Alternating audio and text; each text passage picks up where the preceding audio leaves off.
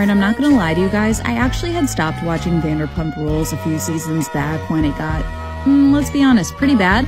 But I am back on the bandwagon. This season is so iconic. It will go down in reality TV history.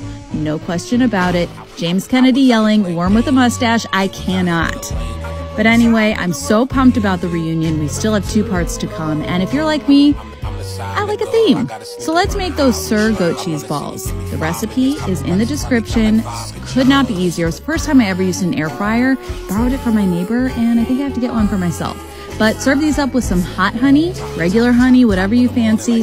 They're so delish. I get what the hype is about. Let me know if you love them. Let me know what you're thinking of the season. Let me know what you think the real big revelation is.